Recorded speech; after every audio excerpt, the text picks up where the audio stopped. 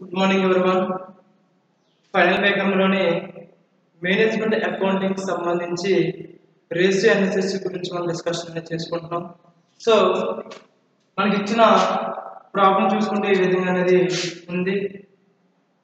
ఒకసారి చూసుకుంటే కనుక ఈ దిగువ ఇచ్చిన సమాచారం నుండి ఈ దిగువ ఇచ్చిన సమాచారం నుండి నిష్పత్తులను లెక్కించండి అన్నాడు. నిష్పత్తులను లెక్కించండి అన్నాడు. ఈ దిగువీచిన ఇచ్చిన సమాచారం నుండి నిష్పత్తులను లెక్కించండి అన్నాడు. దీంట్లో నిష్పత్తులు చూసుకుంటే కనుక ఫస్ట్ వన్ వచ్చేసరికి స్థూల లాభ నిష్పత్తి. ఫస్ట్ వన్ వచ్చేసరికి స్థూల లాభ నిష్పత్తి. అలాగే సెకండ్ వన్ వచ్చేసరికి నిర్వహణ నిష్పత్తి. నిర్వహణ నిష్పత్తి. అలాగే నెక్స్ట్ వన్ చూసుకుంటే కనుక ఆస్తులపై రాబడి నిష్పత్తి. ఆస్తులపై రాబడి నిష్పత్తి. అలాగే లాస్ట్ వన్ చూసుకుంటే ఈక్విటీ ఈక్విటీపై రాబడి నిష్పత్తి. ఈక్విటీపై రాబడి నిష్పత్తి. ఈ రకంగా మనకి నాలుగు నిష్పత్తులు అనేది ఇవ్వడం జరిగింది. సో ఏ నిష్పత్తులు అవి స్థూల లాభ నిష్పత్తి నిర్వహణ లాభ నిష్పత్తి అలాగే ఆస్తులపై రాబడి నిష్పత్తి అలాగే ఈక్విటీపై రాబడి నిష్పత్తి. ఈ నాలుగు నిష్పత్తులను ఇవ్వడం జరిగింది? అలాగే నిష్పత్తి సంబంధించిన డేటా కూడా మనకి ఇవ్వడం జరిగింది. ఆ డేటా చూసుకుంటే కనుక ఫస్ట్ వన్ వచ్చేసరికి ఈక్విటీ వాటా మూలధనం. ఈక్విటీ వాటా మూలధనం. ఎంత మనకి? ఆరు లక్షలు ఇవ్వడం జరిగింది. ఈక్విటీ వాటా మూలధనం ఎంత ఇచ్చాడు ఆరు లక్షలు అనేది ఇవ్వడం జరిగింది. అలాగే మొత్తం ఆస్తులు మొత్తం ఆస్తులు మొత్తం ఆస్తులు ఎంత ఇవ్వడం జరిగింది మనకి? లక్ష సరే పదహారు లక్షలు అనేది ఇవ్వడం జరిగింది. మొత్తం ఆస్తులు ఎంత పదహారు లక్షలు. అలాగే నెక్స్ట్ కూడా చూసుకుంటే కనుక ఏమన్నాడు ఇక్కడ ఎనిమిది శాతం వడ్డీతో తెచ్చిన అప్పు ఎనిమిది శాతం ఎనిమిది శాతం వడ్డీతో తెచ్చిన అప్పు. అలాగే మొత్తం ఆస్తుల్లో యాభై శాతం అన్నాడు. మొత్తం ఆస్తుల్లో యాభై శాతం అన్నాడు. ఓకేనా? ఎనిమిది శాతం వడ్డీతో తెచ్చిన అప్పు. మొత్తం ఆస్తులలో యాభై శాతం. నెక్స్ట్ నెక్స్ట్ మనం చూసుకుంటే కనుక సంవత్సరానికి ప్రత్యక్ష వెయ్యాలు. సంవత్సరానికి ప్రత్యక్ష వెయ్యాలు. సంవత్సరానికి ప్రత్యక్ష వెయ్యాలు చూసుకుంటే మనకి తొమ్మిది లక్షల అరవై వేలు. తొమ్మిది లక్షల అరవై వేలు. సంవత్సరానికి ప్రత్యక్ష వెయ్యాలంతా తొమ్మిది లక్షల అరవై వేలు. అలాగే నెక్స్ట్ వన్ చూసుకుంటే కనుక నిర్వహణ ఖర్చులు.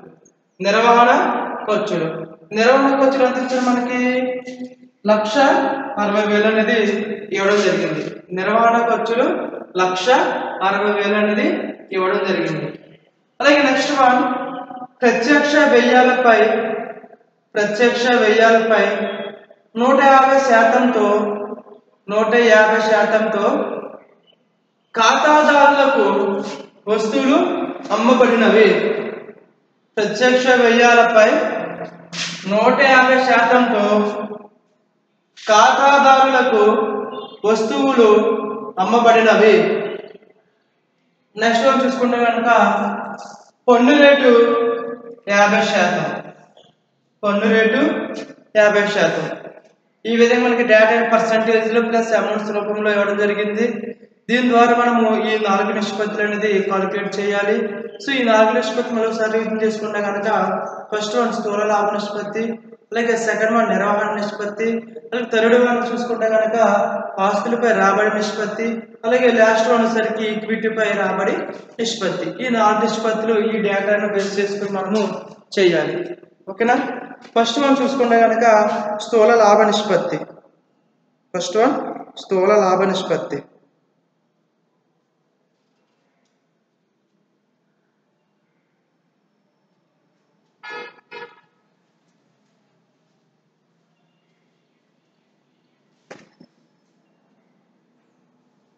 సోలార్ లాభ నిష్పత్తి చూసుకుంటే మనకి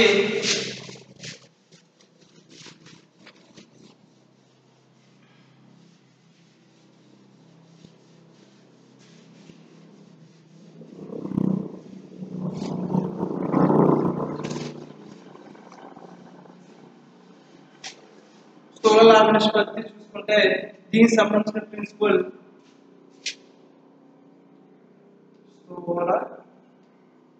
లాభ నిష్పత్తి దీనికి సంబంధించుకుంటే కనుక స్థూల లాభంపై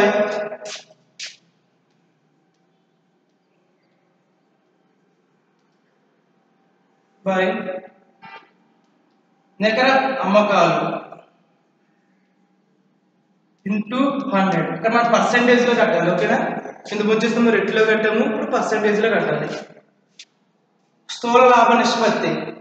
ఈజ్ ఈక్వల్ టు స్థూల లాభం బై నికర అమ్మకాలు ఇంటూ హండ్రెడ్ నికర అమ్మకాలు ఇంటూ హండ్రెడ్ మనకి ఇచ్చిన లెక్కలు చూసుకున్నా కనుక స్థూల లాభం అనేది ఇవ్వలేదు.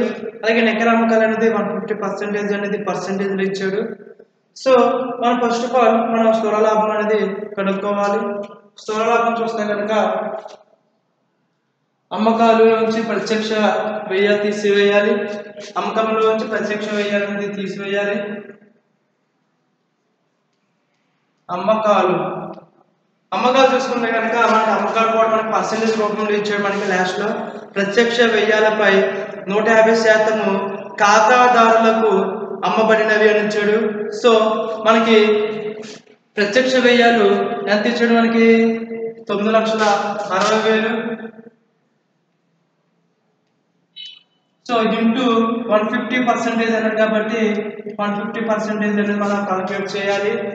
సో కాల్క్యులేట్ చేస్తే అమ్మకాలు ఎంత వస్తుంది మనకి? తొమ్మిది లక్షల అరవై వేలు into one fifty by hundred చేస్తే ఎంత వస్తుంది? పద్నాలుగు లక్షల నలభై వేలు అనేది పద్నాలుగు లక్షల నలభై వేలు అనేది వస్తుంది. పద్నాలుగు లక్షల నలభై వేలు అనేది వస్తుంది. ఇప్పుడు మనము ప్రత్యక్ష వ్యయాలు అనేది తీసివేయాలి. మైనస్ ప్రత్యక్ష వ్యయాలు ప్రత్యక్ష వ్యయాలు ఎంత ఇచ్చారు మనకి లెక్కలో తొమ్మిది లక్షల అరవై వేలు. తొమ్మిది లక్షల అరవై వేలు. సో ఇప్పుడు ఈ పద్నాలుగు లక్షల నలభై వేల నుంచి తొమ్మిది లక్షల అరవై వేలు అనేది తీసివేయాలి. తీసివేస్తే మనకి స్థూల లాభం అనేది వస్తుంది. సో స్థూల లాభం ఎంత వస్తుందంటే నాలుగు లక్షల ఎనభై వేలు అనేది స్థూల లాభం అనేది వస్తుంది. నాలుగు లక్షల ఎనభై వేల స్థూల లాభం అనేది వస్తుంది. ఓకేనా?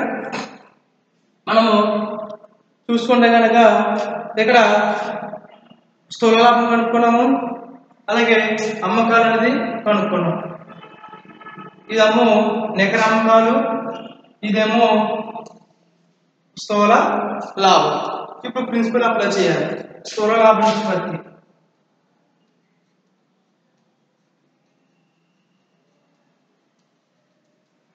స్థూల లాభ నిష్పత్తి ఇజ్ ఈక్వల్ టు మనకి స్థూల లాభం ఎంత వచ్చింది?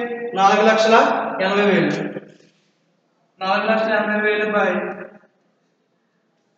మనకి నికర అమ్మకాలు చూసుకుంటే మనకి ఇక్కడ ప్రత్యక్ష వ్యయాలపై నూట యాభై శాతం కట్టు. సో నికర అమ్మకాలు ఎంత? పద్నాలుగు లక్షల నలభై వేలు. పద్నాలుగు లక్షల నలభై వేలు. Into hundred. నాలుగు లక్షల ఎనభై వేలు బై పద్నాలుగు లక్షల నలభై వేలు ఇంటూ హండ్రెడ్. చేస్తే స్థూల లాభ నిష్పత్తి ఎంత వస్తుంది?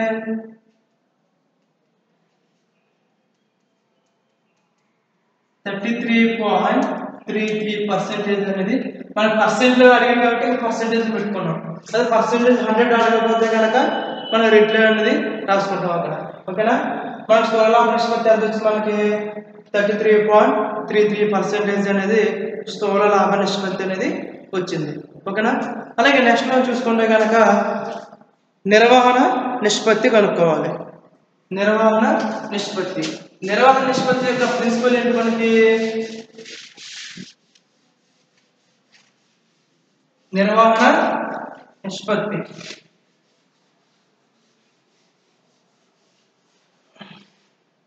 నిర్వహణ నిష్పత్తి ప్రిన్సిపల్ ఏంటి? అమ్మిన వస్తువులు వ్యయం ప్లస్ నిర్వహణ ఖర్చులు బై ఎకనామిక్ నిర్వహణ నిష్పత్తి. నిర్వహణ నిష్పత్తి చూసుకుంటే కనుక అమ్మిన వస్తువుల వ్యయం బై సారీ వస్తువుల వ్యయం ప్లస్ నిర్వహణ ఖర్చులు. ఖర్చులు బై నికర అమ్మకాలు. నికర అమ్మకాలు ఇంటూ హండ్రెడ్. మనం పర్సంటేజ్ పర్సంటేజ్లో చేస్తాం ఇంటూ హండ్రెడ్. నిర్వహణ నిష్పత్తి యొక్క ప్రిన్సిపల్ ఏంటి? అమ్మిన వస్తువుల వ్యయం ప్లస్ నిర్వహణ ఖర్చులు బై నికర అమ్మకాలు ఇంటూ హండ్రెడ్ ఇప్పుడు మనము ఫస్ట్ ఆఫ్ ఆల్ నిర్వహణ ఖర్చులు అనేది కనుక్కోవాలి. సో ప్రీవియస్ చూసుకుంటే కనుక అమ్మిన వస్తువుల వ్యయం మనం కనుక్కున్నాము. అమ్మిన వస్తువుల వ్యయం మనకి ఎంత వచ్చింది? అమ్మిన వస్తువుల వ్యయం చూసుకుంటే మనకి ప్రీవియస్లో నూట యాభై శాతం కట్టాం. సో అది అమ్మకాలు. పద్నాలుగు లక్షల నలభై వేలు. ఇది అమ్మిన వస్తువుల వెయ్యం. పద్నాలుగు లక్షల నలభై వేలు అనేది అమ్మిన వస్తువుల వ్యయం. ఇప్పుడు మనం నిర్వహణ ఖర్చులు కనుక్కోవాలి. నిర్వహణ ఖర్చులు. నిర్వహణ ఖర్చులు చూసుకుంటే మనకి ఇచ్చిన లెక్క నిర్వహణ ఖర్చుల్లో ప్రత్యక్ష ఖర్చులు అలాగే నిర్వహణ ఖర్చులు అనేది ఇవ్వడం జరిగింది. దాన్ని మొత్తం టోటల్ చేసేయాలి. ప్రత్యక్ష ఖర్చులు ఎంత ఇచ్చిన మనకి? తొమ్మిది లక్షల అరవై వేలు అనేది ఇవ్వడం జరిగింది. ప్రత్యక్ష ఖర్చులు ఎంత? తొమ్మిది లక్షల అరవై వేలు. అలాగే నిర్వహణ ఖర్చులు కూడా ఇవ్వడం జరిగింది. నిర్వహణ ఖర్చులు ఎంత? లక్ష అరవై వేలు. నిర్వహణ ఖర్చులు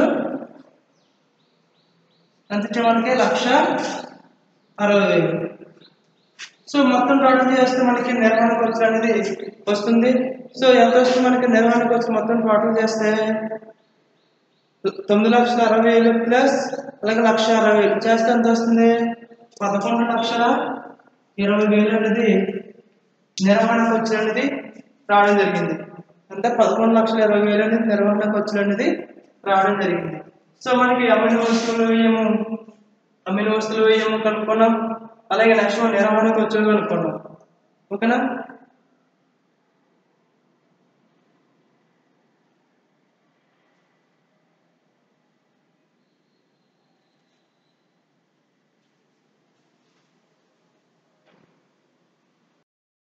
సరే ఇది అమ్మకాలు.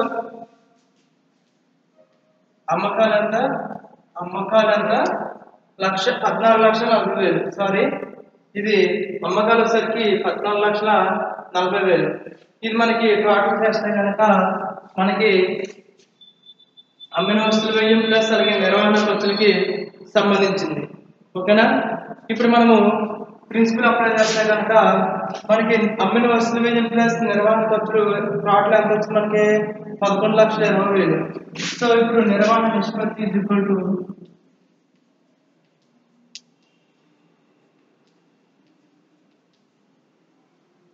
అమ్మిన వస్తువుల వ్యయం ప్లస్ నిర్వహణ ఖర్చు కలిపేసి ఎంత వస్తుంది మనకి?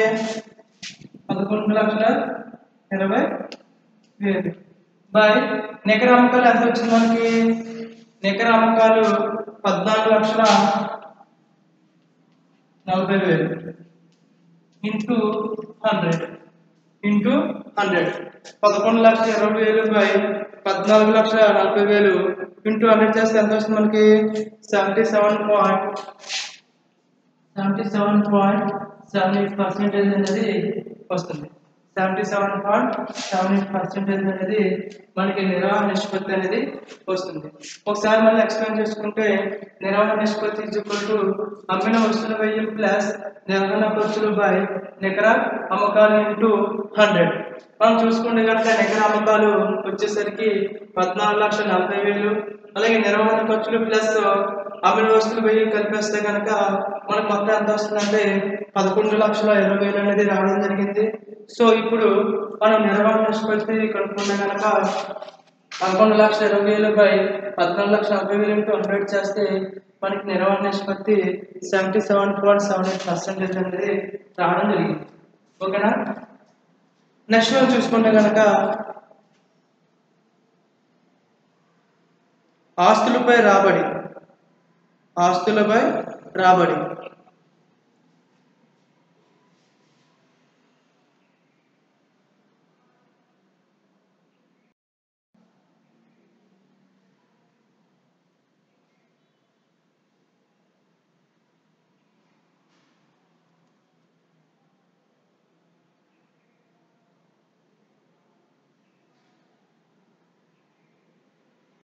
నెక్స్ట్ మనం ఆస్తులపై రాబడి దానికి సంబంధించి తీసుకుని చూసుకుంటే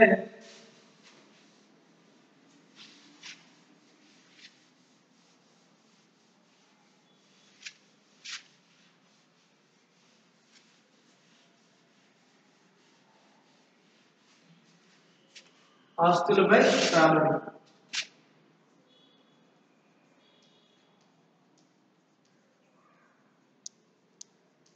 దీనికి సంబంధించిన ప్రిన్సిపల్ తీసుకుంటే కనుక నికర లాభం బై మొత్తం ఆస్తులు.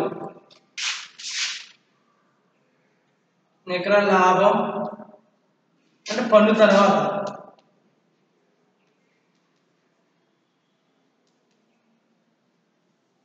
బై మొత్తం ఆస్తులు ఇంటూ హండ్రెడ్. ఇంటూ హండ్రెడ్ మనకి నికర లాభం చూసుకుంటే కనుక లక్ష అరవై వేలు లక్ష అరవై వేలు అనేది వచ్చింది.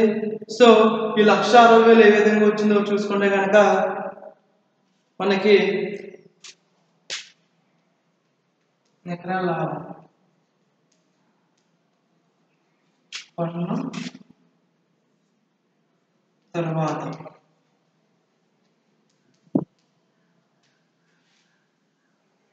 పన్ను తర్వాత నికర లాభం పన్ను తర్వాత. చూసుకుంటే ఫస్ట్ వన్ మనకి స్థూల లాభం అనేది స్థూల లాభం. స్థూల లాభం మనకి ముందు ఎంత వచ్చింది? మనకి స్థూల లాభం నాలుగు లక్షల ఎనభై వేలు అవుట్ వచ్చింది. నాలుగు లక్షల ఎనభై వేలు. స్థూల లాభం నాలుగు లక్షల ఎనభై వేలు. మైనస్ నిర్వహణ ఖర్చులు.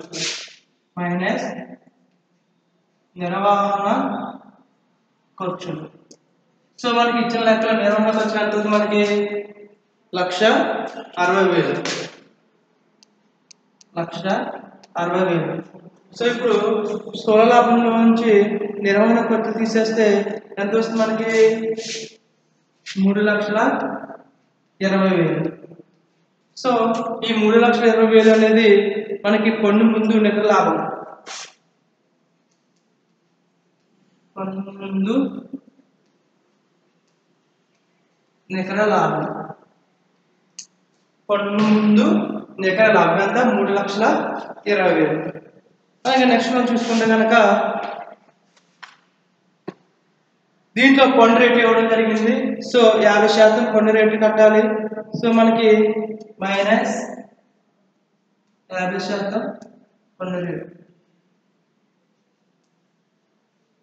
చూసుకుంటే కనుక యాభై వేలు సారీ యాభై బై హండ్రెడ్ ఇంటూ మనము ఈ నికర లాభం పైన యాభై శాతం కట్టాలి. సో మూడు లక్షల ఇరవై వేలు. మూడు లక్షల ఇరవై వేలు. చేస్తే ఎంత వస్తుంది మనకి? ఎంత వస్తుంది? లక్ష అరవై వేలు. సో ఇప్పుడు ఈ పన్ను ముందు నికలాభం నుంచి ఈ పన్ను రేటింగ్ తీసేస్తే కనుక మనకి ఎంత వస్తుంది? లక్ష అరవై వేలు సో ఈ లక్ష అరవై వేలే మనము నికర లాభం కింద తీసుకోవడం జరుగుతుంది. నికర లాభం ఎంత? లక్ష అరవై వేలు ఓకేనా? అలాగే నెక్స్ట్ మనం చూసుకుంటే కనుక మొత్తం ఆస్తులు.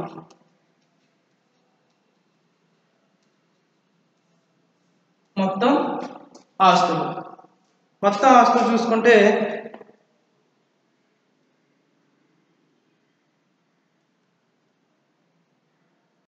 మనకి ఇచ్చిన లెక్క మొత్తం ఆస్తులు ఎంత వచ్చినాయి? పదహారు లక్షలు అనేది మొత్తం ఆస్తులు మనం చెప్పుకోవచ్చు. ఎంత? పదహారు లక్షలు.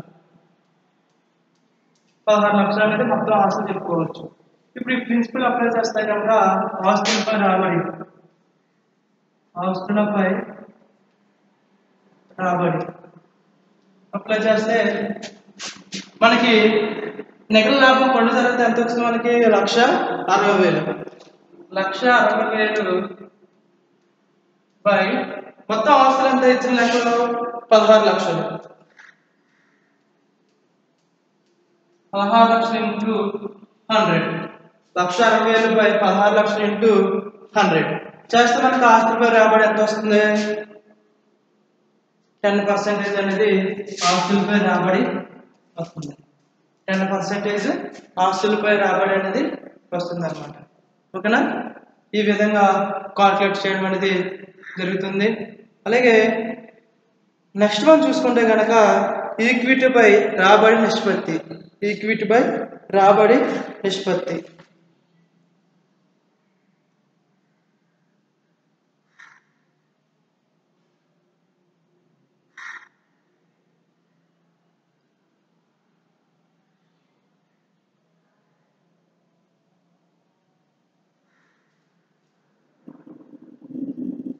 ఈక్విటీ రాబడిపై నిష్పత్తి ఫార్ములా చూసుకుంటే కనుక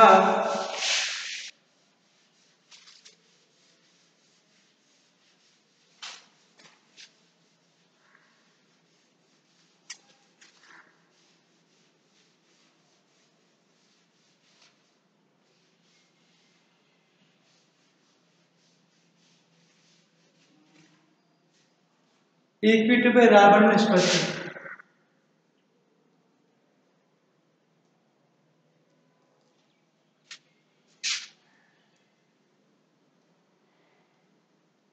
దీనికి సంబంధించిన ప్రిన్సిపల్ చూసుకుంటే కనుక నికర లాభం పొందిన తర్వాత మైనస్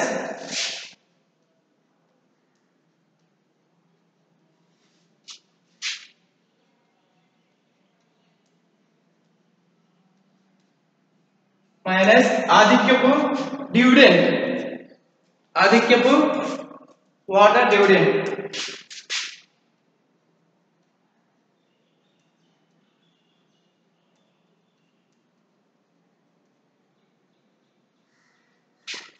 బై ఆధిక్యపు వాటర్ డివిడెంట్ బై ఈక్విటీ వాట్ ఈక్విటీ వాటా మూలధనం. ఈక్విటీ వాటా మూలధనం.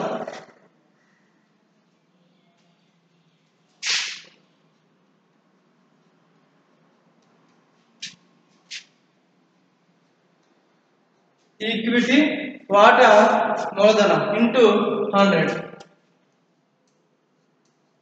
ఈక్విటీ వాటా మూలధనం ఇంటూ హండ్రెడ్ మనం ప్రిన్సిపల్ చూసుకుంటే కనుక ఈక్విటీ వాటాపై రాబడి నిష్పత్తి ఈక్వల్ టు నికర లాభం పన్ను తర్వాత మైనస్ ఆధిక్య వాటాకు డివిడెండ్ మనకు లెక్కలో ఆధిక్య వాటా అనేది ఇవ్వలేదు కాబట్టి దాన్ని లీవ్ ఇట్ సో మనం నికర లాభం మాత్రమే తీసుకోవాలి. సో మనకి నికర లాభం ఎంత వచ్చింది? లక్ష అరవై వేలు అనేది నికర లాభం రావడం జరిగింది. బై ఈక్విటీ వాటా మూలధనం ఎంత? అరవై వేలు. మనకి ఇచ్చిన లెక్కలో సరే ఆరు లక్షలు ఇంటూ హండ్రెడ్ చేయాలి. లక్ష అరవై వేలు బై ఆరు లక్షలు ఇంటూ హండ్రెడ్ చేస్తే ఈక్విటీ పై రాబడి నిష్పత్తి ఎంత వస్తుంది? Twenty six point seven. Equity పై రాబడి నిష్పత్తి. ఎంత వస్తుంది twenty six point six seven percentage అనేది ఈక్విటీ రాబడిపై నిష్పత్తి అనేది రావడం జరిగింది. ఈ విధంగా మనము పర్సంటేజ్లో మనకి లెక్క అనేది ఇవ్వడం జరిగింది. సో ఈ విధంగా మనం పర్సంటేజ్ లెక్క కట్టాము. సో పర్సంటేజ్ కట్టినప్పుడు ఇంటూ హండ్రెడ్ అని చేయాలి. ఒకవేళ పర్సంటేజ్ అని అడగకపోతే కనుక మన రిటర్న్ మెన్షన్ చేయాలి అక్కడ. ఓకేనా థ్యాంక్ యూ ఆల్